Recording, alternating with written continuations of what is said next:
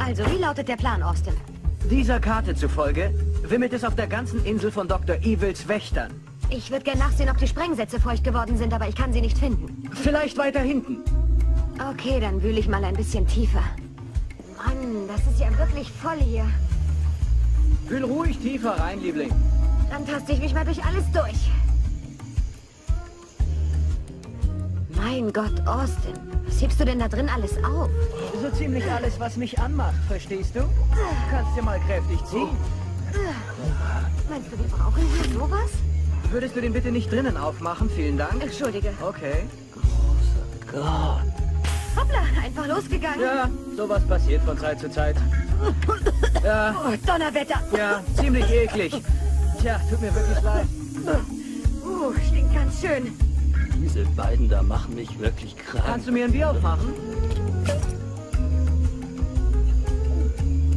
Ah! Was ist denn? Eine Springmaus. Wie kommt die denn da rein?